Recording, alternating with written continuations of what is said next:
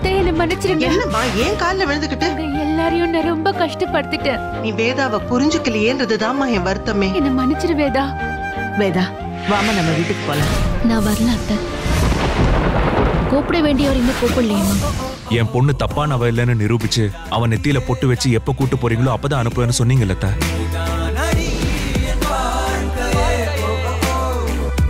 மோதலும் காதலும் powered by KAG tail திங்கள் முதல் வெள்ளி வரை மாலை ஆறு முப்பதுக்கு.